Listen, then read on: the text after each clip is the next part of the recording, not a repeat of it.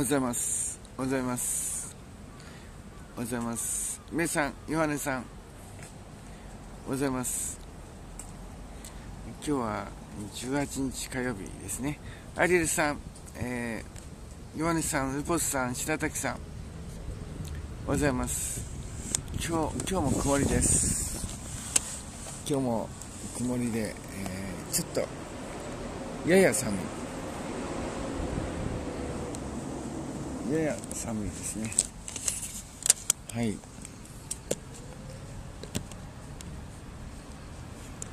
やや寒いですがまあまだまだ、えー、そんなに寒くない。あゆみさん、えー、おはようございます。はい。今日のタイトルはですね命の水シリーズ第4弾。命の水シリーズ第4弾です。え日曜日昨日の朝夜そして今日で 4, 4回目の命の水シリーズです。アリサさんはいおはようございます。カイさんおはようございます。メメアリルさんおはようございます。えっ、ー、とですね、えー、マタイマタイの11の28だったかな、えー、27か28です。マタイ11章の28にですね、えイエス様が言われました。すべて疲れた者重荷を負っている者は私のとこに来なさい。私が休ませてあげます。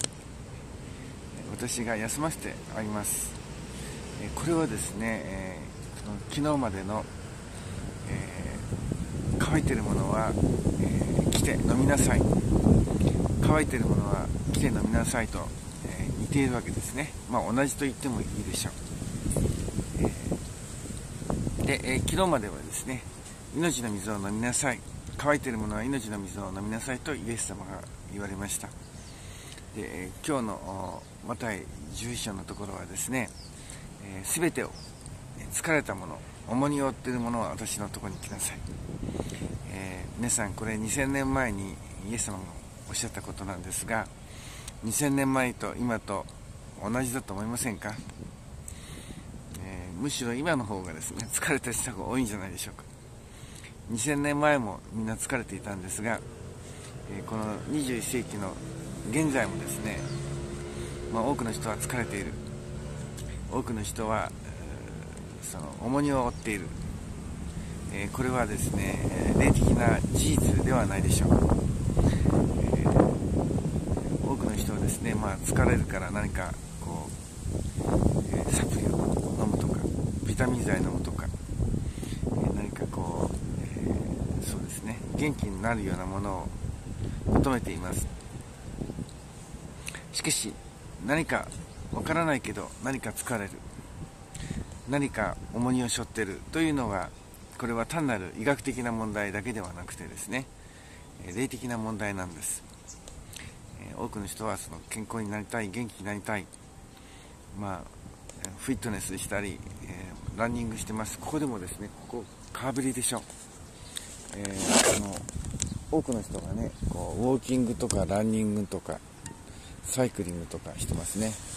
まあちょっとあの人も、えー、ちょっと走っていますけどあの人はウォーキングあの人はその人ですね、えー、みんな元気になるためにいろいろですねあの運動しているわけです、えー、つまり、まあ、元気になりたいけど何かなかなか元気にならないということですよね、えー、ですから根本的には霊的な問題だということですね、えー、タコさんおはようございます。ホジュンさんおはようございます。えー、っとですねその人間はですね人間は全ての人がですね命の水が必要なんです。命の水、まあ、それはですね別の言い方をすると神が必要だということです。全ての人ですよ。全ての人はですねあの神様が必要です。神が神様を持っていない人。神様を持っていない人は、えー、まあ、乾くわけですね。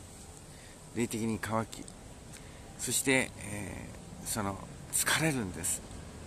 疲れるっていうのは、まあ、まあ、医学的に言えばですねあのいろんな理由がありますよね。栄養が足りないとかそれから何かこう病気があるとかストレスがあるとかいろんな疲れがあります。しかし霊的な疲れというのがですねあるんです。霊的に疲れている。えアリエルさん私もこの放送でイエス様を再認識してとても嬉しい。イエス様を感じれて元気出ます。イエス様も聞いている気がして嬉しいです。皆さん聞いてください。アリエルさんはですね、えー、イエス様を感じ入れて元気が出ます、えー、この放送に来て命の水を飲んで命の水を飲んで、えー、アリエルさんは元気が出るという証ですね。甲斐さん今度関東に行った時町田に行って Q ちゃんに会いに行くよ来てください。来てください。えー、はい。今日寝癖。これをね寝癖っていうかね風が吹いてましてね、えー、風が風があるとすぐにこうふわってなっちゃうんです、えー、それでですね、えー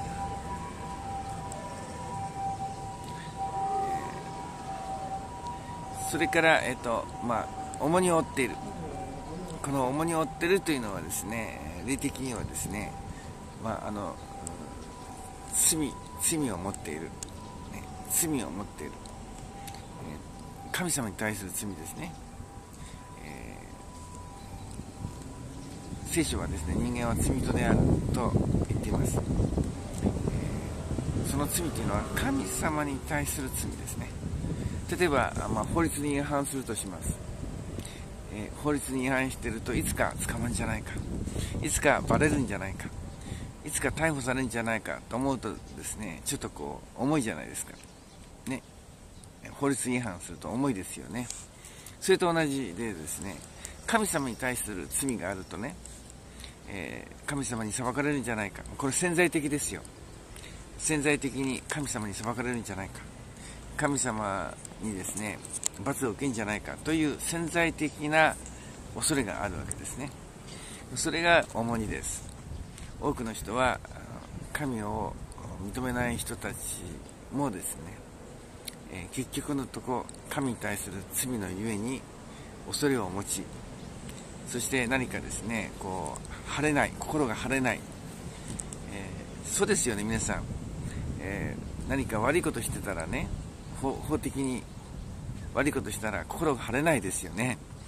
万引きしてる人、まあ、スリをしてる人ね、えー、心が晴れないと思いませんか？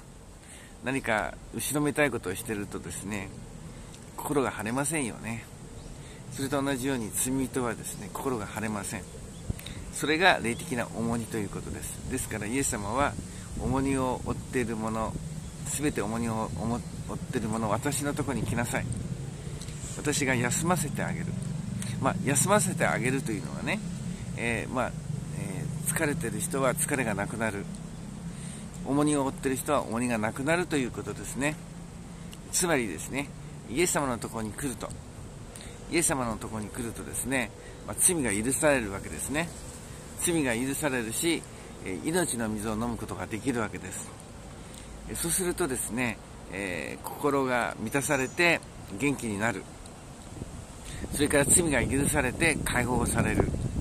恐れがなくなる、えー、神様に対して晴れ晴れとする。ね、えー、神様に対して晴れ晴れとするわけです。もし罪を犯していたらね心がですね重くてもう晴れ晴れしないんです。ね。ビクビクするわけですね。ビクビク、うん、要するに裁きを恐れるということなんですけどしかし罪が許されたら神様に認められ、神様にあなたの罪は許された。あなたの罪は許されたと言ってくださったらですね、私たちの気持ちは晴れ晴れとするわけですね。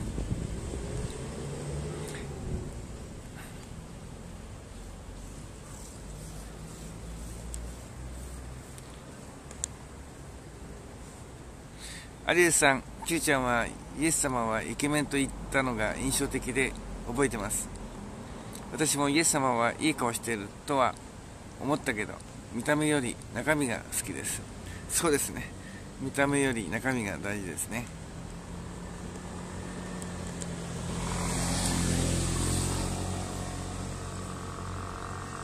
甲斐さん、えー、甲斐さん、えー、っと、罪のないウクライナ人を拷問したりしたロシア軍とプーチンのが罰せられないのはなぜですか？罰せられますよ。罰せられます。神様は正義の神様ですから、罪はすべて罰せられます。罪はすべて罰せられます。えー、佐野さん、疲れました。身身体を休めたいのですが、すぐに回復する方法はありますか、えー、信仰によって、回復します。信仰によって回復します。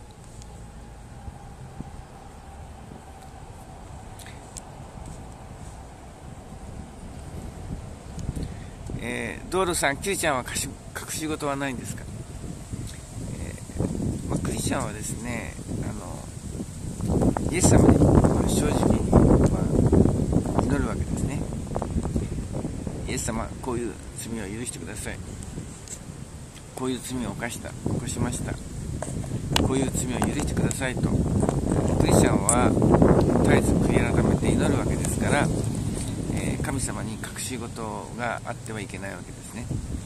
まあ、祈らないというのはね、皆さん、まあ、信仰のない人は祈らないんですけど、祈らない人は結局は神様に隠し事をしているということになるでしょう。つまり神様に自分の心を隠している。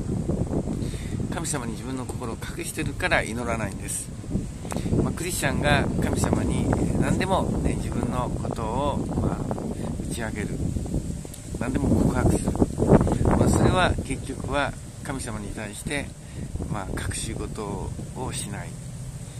神様に隠し事をしない、まあ、それがですね信仰とも言えるわけです、えー、まあ、夫婦間でも親子間でもね隠し事があったら、まあ、うまくいかなくなっていくじゃないですか、ま人間関係でもですね隠し事っていうのは良くないですよね。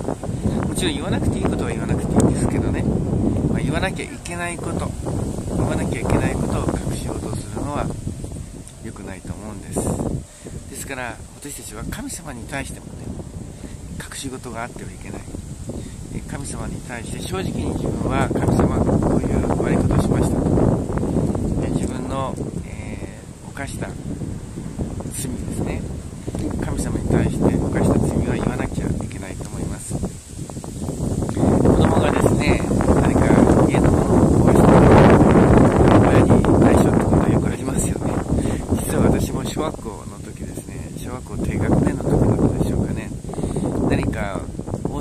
にあったものをね、なんか落としてたかなんかで、壊したんですよね。でもそれをね、あの、家族に内緒にしてたようなことを覚えてます。多分後で怒られたと思いますけれども、えー、なんかこう、えー、悪いことするとですね、悪いことするとちょっとですね、隠したくなるというのは、まあ誰でもそうだと思うんですが、えー、例えばひき逃げもそうですよね。え車で人を引いちゃった。それは当然ですね、救急車呼ばなきゃいけないし、警察にも言わなきゃいけないけど、えー、逃げちゃった。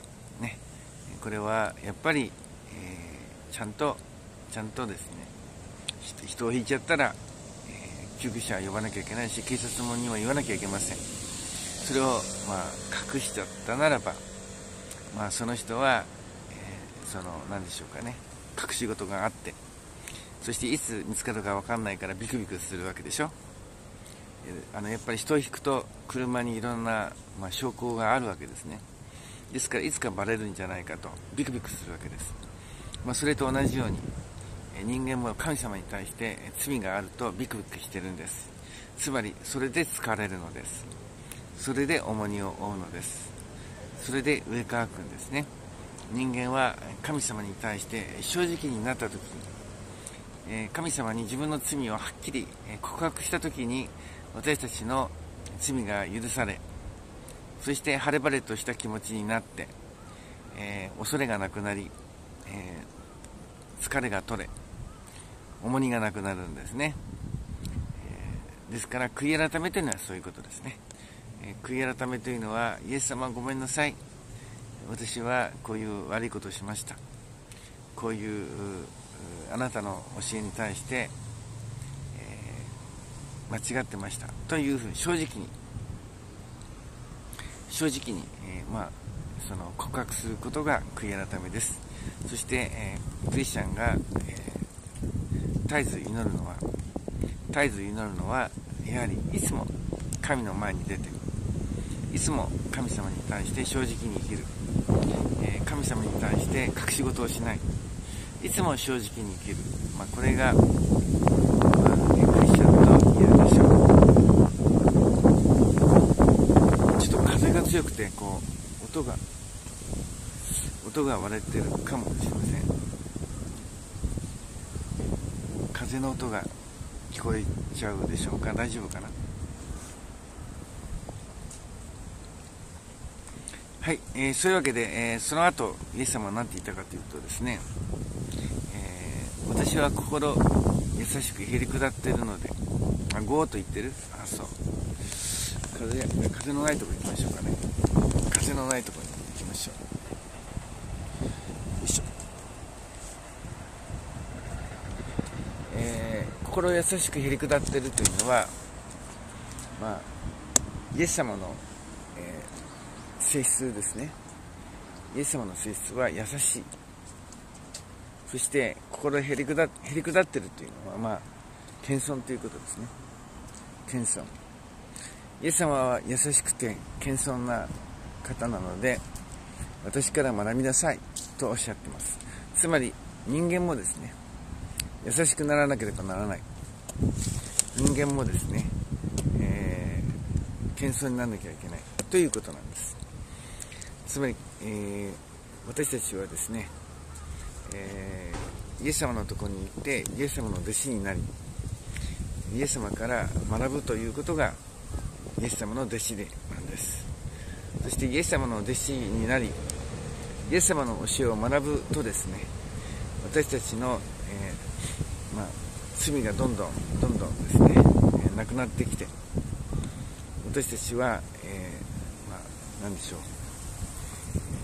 え命の水を飲んで命の水を飲んで元気になりまた疲れが取れてまた重荷がなくなっていくんですね。重荷がなくなっていきます。しかし、えー、イエス様を信じないでイエス様を信じないで罪の道を歩むなら、まあ、誰でも疲れるし誰でも重荷を負ってしまうということですね。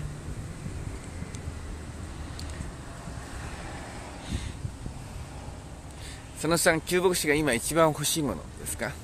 ものですか？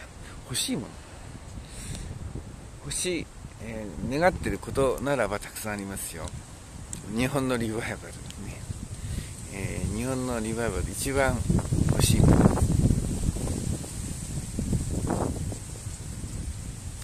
中間選挙どうなりますか？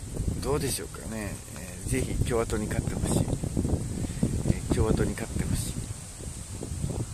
あゆみさんかなり割れてるけどなんとか聞こえるああそうですかじゃあ風で結構割れちゃってるのかまだ風があるかな。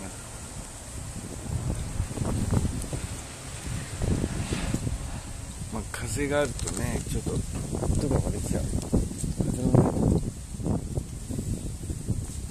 どうしようかな。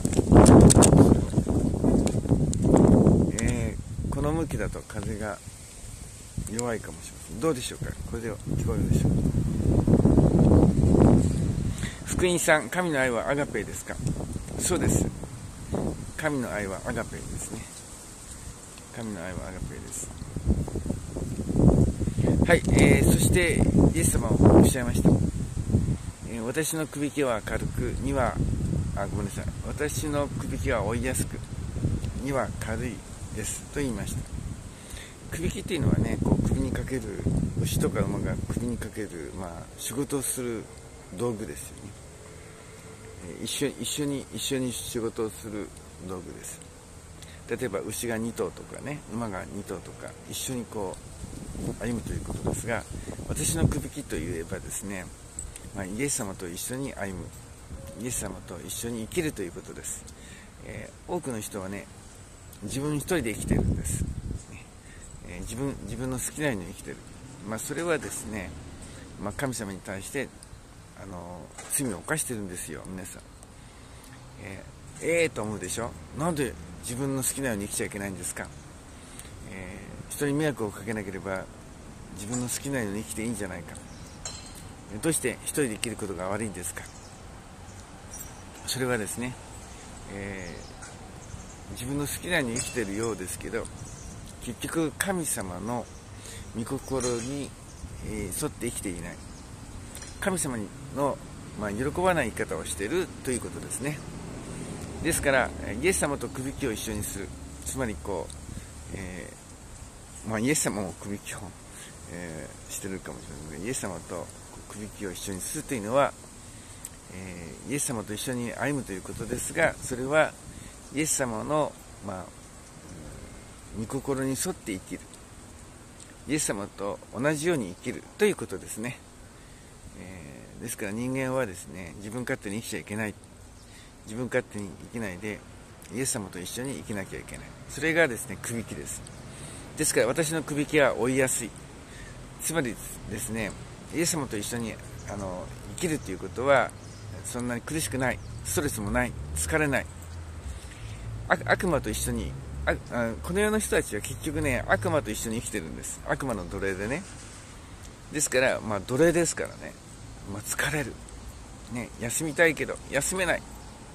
ブラック企業みたいなもんですねまあ世の中の人は、まあ、ブラック企業で働いているようなもので悪魔にこき使われてですねもうストレスいっぱい、ね、ストレスいっぱい、プレッシャーいっぱいで、もう疲れ切っている。まあ、今はね、あんまり言われませんが、まあ、あの過労死とかね、過労死とかあるじゃないですか。まあ、今でもね、過労死あるかもしれませんが、まあ、要するに、この世の仕事、この世の仕事はですね、まあ、悪魔の奴隷の仕事のようなものです。ですから、なんかこう、使い捨てにされてるような、えー、その疲れる仕事、ね、疲れる仕事休めない仕事、えー、まあ、それがこの世の仕事なんですけどイエス様はですね私と一緒に歩みなさい。私と一緒に仕事をしなさい。ということなんですね、え、そうすれば、えそのまあえイエス様の仕事は疲れない。楽しい仕事。それから、え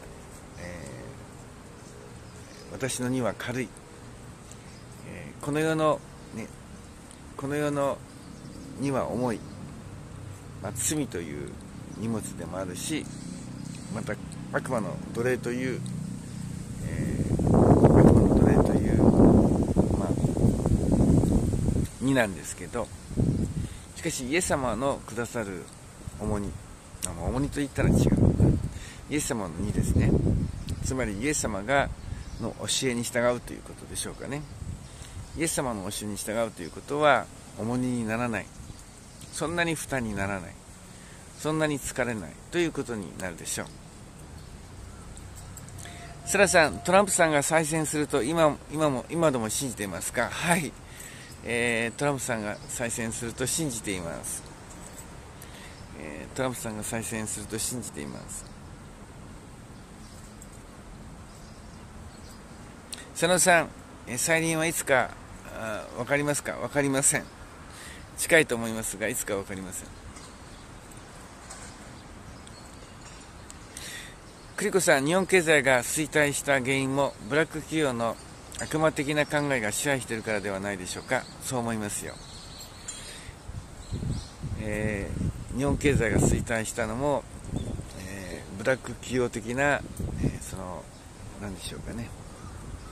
え仕事をする記録がなくなっちゃったようなそういう感じでしょうかねはいゆららさんアメンなんでトランプ推しなんですか？トランプさんはね、まあ、あのちょっと言葉も悪いし、まあ、態度も悪いんですが一応クリスチャンですね。一応クリスチャン。そしてトランプさんの、まあえーと、公約？公約はねクリスチャン的なものが多いんですね、えー、ですから、まあえー、まあ、とてもですねこう善良なクリスチャンじゃないかもしれない。分かりません。でも、えー、彼はですねすごい信仰的なんです。信仰的です。ツイッターやってますか？やってますよ。ツイッターやってます。あまりつぶやかないですけど。イエス様の仕事って何ですか？イエス様の仕事というのはねイエス様の教えをによって生きる。イエス様の教えに沿って生きる。イエス様のそのイエス様が喜ぶようなことをする。そして福音と言いましてね、え、今私はイエス様のくださる命の水を飲みましょうというふうに、まあ、伝道してるわけですね。そのようにえまず自分が救われて自分が命の水を飲んでそしてイエス様の教えを学んで、えー、心優しくへり下って今度はですねイエス様を伝えていく。イエス様の教えを伝える、まあ、それがですねイエス様の仕事。イエス様の仕事ですね。有吉さん、Q ちゃんはイエス様の再臨が明日来てもこの世の後悔、未練はないですか？イエス様がいつ来るかは、まあ、イエス様がですねあの父が定めてると言ったかな。天のお父様が定めているんですがそれは神の時ですからもうそれは正解なんですね、え、まあ、私たちがいろいろ思うじゃないですか。まだ日本にリバイバル来てない。もっともっと人が救われてほしいと思うかもしれない。でもそれは神の時ですからやはり神様の神様が決めるので、まあ、いつ来てもそれはそれでいいのですね。えー、まあ、リバイバル日本のリバイバルがあって来られるんじゃないかと期待しますが、え、神様がお決めになります。その3、伝道師の最高齢って何歳ぐらいですか？うーん、どうでしょうかね。まあ、あの規模規模によりますけど死ぬまで伝道する人はいると思いますよ私もできれば死ぬまで伝道したいですね。死ぬまで伝道したいいやできれば再臨まで生きていたい。ね。再臨まで生きていきたいと思います。えっ、ー、とプリプリさん。イエス様を信じてない人でも救える能力あるなら救ってあるべきあげるべき。えっとねあの信じない人を無理やりね信じさせるのは良くないですね。やっぱりあの信教の自由があるじゃないですか。信教の自由。だから人間を無理やり信じさせるのは良くないんです。ね、えー、信じるか信じないかのその人の意思です。自由意志ですから信じない人を無理やり信じちゃいけない。信じさせちゃいけないわけですね。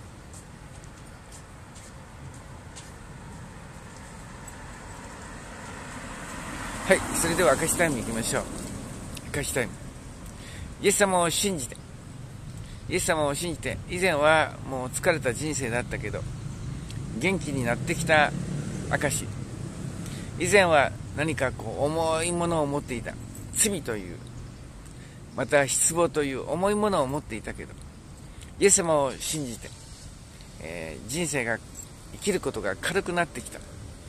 生きることが、えー、その楽しくなってきた証、えー、イエス様を信じて、え心が、え心の神様に対する隠し事がなくなってきて神様に正直に自分の気持ちを告白してえー、気持ちが晴れ晴れしてきた証スタートスタート。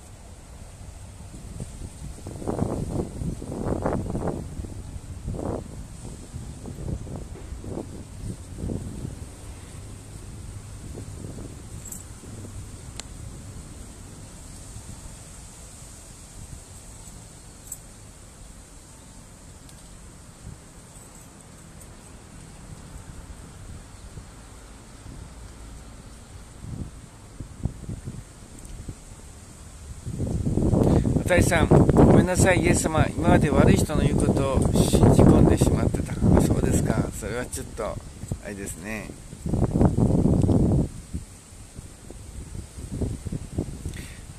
中牧師が毎日精力的に放送できているのも信仰のおかげだと思った。アメン。そうです、えー、人間的な力肉的な力ではですね、えー、まあ、毎日伝道するのは難しいと思います。しかし命の水を飲んで命の水を飲んで、え、この毎日伝道する力が与えられていると思います。ですから、え、まあ頑張って頑張って頑張って伝道しているという感じではありません。むしろ伝道が伝道することが楽しい。イエス様の話をすることが楽しい。そういう感じですね。福音さん今は世紀末ですか？いや世紀末はねあの2000年前の2000年前が世紀末です。今は週末ですね。人類の週末です。世紀末じゃなくて週末ですね。佐野さんイエス様を信じ祈り心身体休めたい。アメン。天神さん神様の代弁を毎日ありがとうございます。いや特権です。特権です、えー、イエス様の、えー、イエス様の福音を、えー、まあ放送できることは特権ですね。それは本当に素晴らしい特権です。アリエルさんイエス様の命の水をもらって運もついていて全てがうまくいっています。イエス様の奇跡です。毎日喜びと幸せに満ちています。皆さんアイデルさんはですね命の水を飲んで元気です。そして毎日喜びと幸せに満ちているいいですね。まさに証人です。えー、アリエルさんは証人ですね。イエス様を信じて命の水を飲んで、えー、毎日が、えー、こう何でしょうかね。毎日が喜びです。そうです、えー、クリスチャンの特徴。クリスチャンの特徴は優しくて喜んでる。優しくて喜んでる。まあこれがクリスチャンの特徴ではないでしょう。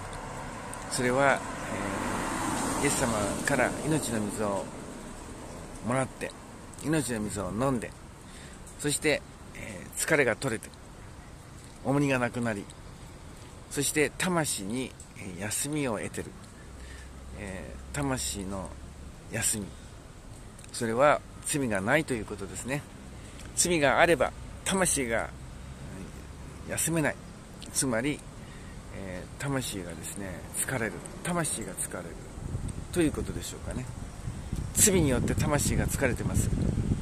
イエス様が私たちの罪を許してくださるのでイエス・キリストを信じることによって罪が許され魂の疲れがなくなる。つまりこれが安息と言います。安息というのはまあ何でしょうかね。日本語に訳すと何でしょうかね、まあ、魂の休み。魂の休みのことを安息と言ったら分かりやすいかな。ですから皆さんこの地上はですね、えー、魂に安魂の、まあ、安らぎがない場所ですがイエス様を信じると魂に安らぎを得ます。そして、えー、そうですね、えー、安息ですね。まあ、天国は安息の地と言われます、えー、天国は全く罪のないとこです。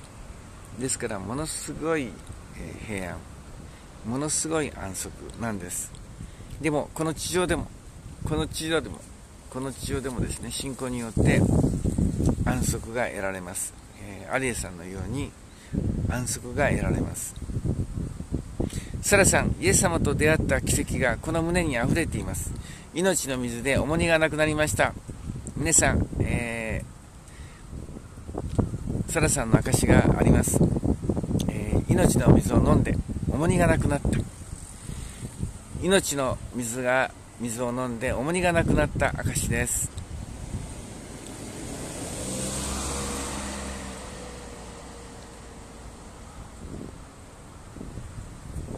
その3天国でも伝道を続けられますか？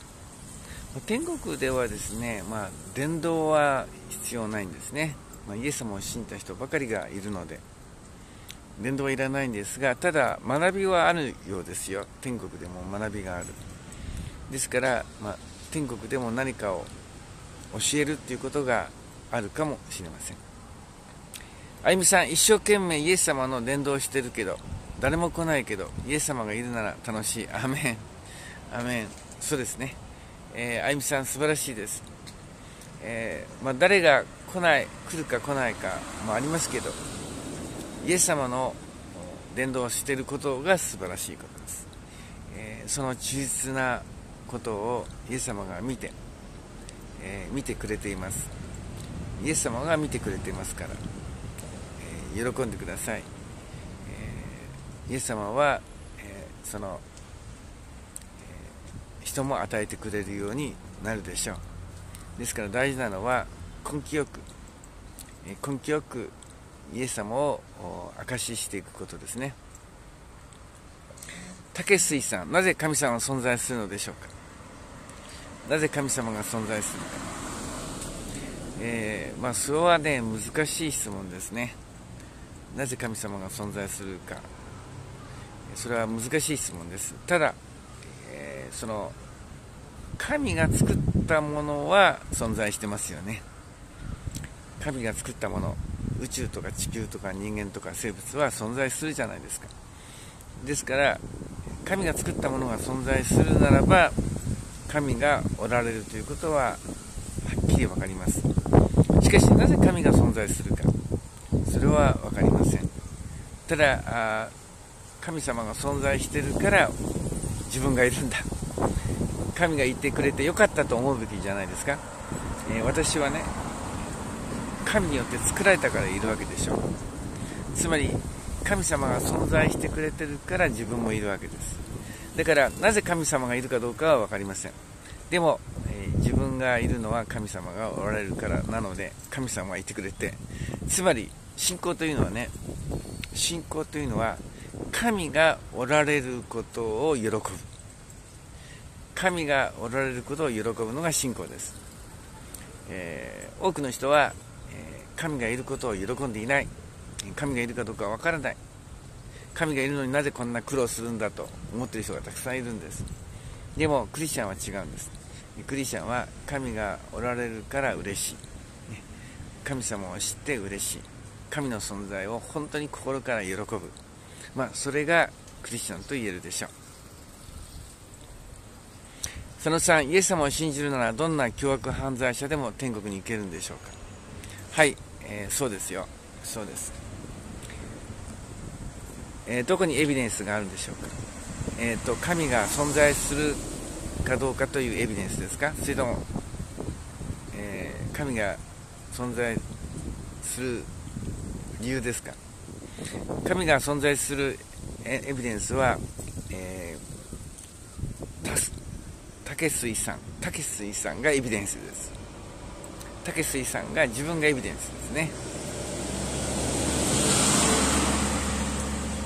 なぜかというと私がいなければ神がいる、えー、私がいるということは神が作ったからいるので私自身がエビデンスですね。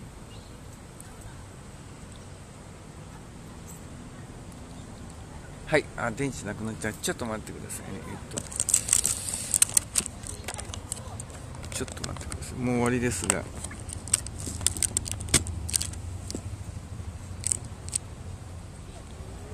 はい。それでは、えー、ファイナルしましょうね、えー、今日の放送を聞いてああ私は確かに疲れていた。なぜだかわからないけど人生に疲れ仕事に疲れ勉強に疲れ人間関係に疲れていた。生きることに疲れていた。正直、休みたい。正直、重い。人生が重い。あ、これは、えー、神を知らないからだ。えー、神様、神様から遠く離れ命の水を飲んでないからだ、その疲れてる理由はまさに自分の力で生きてるからだ。自分の力だけで生きてるから。神の力なしで生きてるから疲れるんだ。イエス様とくびきを追うなら。イエス様とくびきを追ってイエス様と共に生きるなら命の水を飲むことができまた罪が許され神の力で生きることができる。そうだったんだ。そうだったんだ。人間は人間は自分の力だけで生きてはいけない。神の力で生きなければならないんだ。神の力がなかったから疲れたんだ。疲れているんだ。神の力がないので重いのだ。やっと分かった。これからは自分の力だけで生きていくのではない、えー、イエス様を信じてイエス様と共に生きていきたい。イエス様から優しさと謙遜を学んで、えー、イエス様の力で生きていきたい。命の水を飲んで命の水を飲んで、えー、元気になりたい、えー、疲れない人生喜びの人生満たされた人生を歩みたいそう思う方は、アーメンと言ってください。アーメン。アーメン。もう疲れた人生は嫌だ。疲れた人生は嫌だ。自殺しなくてよかった。自殺しなくてよかった。もう苦しくて死のうと思っていたけど、えー、死なないで、イエス様を信じて、元気になれるなら、えー、よかった。そのような道があったんだ。そのような人生があったんだ。えー、元気に生きる人生があったんだ。死なないでよかった。アメン、アメン、アメン。天のお父様、多くの人は疲れています。えー、元気そうに見えても、えー、みんな心の中は、えー、重荷があり、そして乾いてます。魂が乾いてます、え、元気元気な素振りを見せるけどそれは、えー、嘘をついています、え、自分は元気なんだと多くの人は嘘をつきますがしかし心の中は疲れています、えー、心の休み。魂の安らぎはイエス様しか満たすことができません。どうぞアーメンといった方々がイエス様を信じて命の水を飲み、えイエス様の力を受けて元気になりますよ罪が許されて罪が許されて心が軽くなり晴れ晴れとした心、えー、恐れとか不安ではなく希望と喜びに満ちた心になることができますように。イエス様どうぞ。どうぞ。一人でも多くの人が自分の、えー、罪を認めイエス様に悔い改めて罪が許されますように。そして求めますよイエス様からしか救いがありません。イエス様しか救いがありません。イエス様から命の水をもらえます。命の水を飲んで命の水を飲んで魂え潤い魂が潤い魂が満たされますように。リスナーの人たちの魂が、えー、満たされますように。命の水を飲むことができますイエス・キリストを信じるということが命の水を飲むことです。信じることが飲むことです。信じないなら飲まないことです。命の水を飲まなければ元気になりません。アーメンといった方々が信じましたから命の水を飲んでいます。命の水を飲んでいます。命の水を飲んで元気になりますように。イエス様の皆によってお祈りします。アーメン。アーメンアーメンアーメンえー、シャリシャリさんシャシャリさんえーえー、今日一日頑張れそうです。アーメン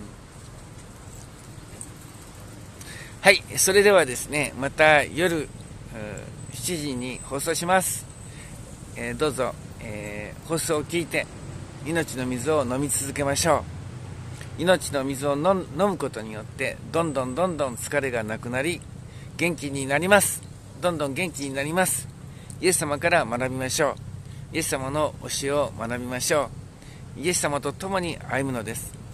イエス様のとくびきを追ってイエス様の荷を担ぎましょう。それでは、えー、また夜7時にお会いしましょう。シャローム。ありがとうございました。竹水さん。ありがとうございました。シャローム。シャローシャロー。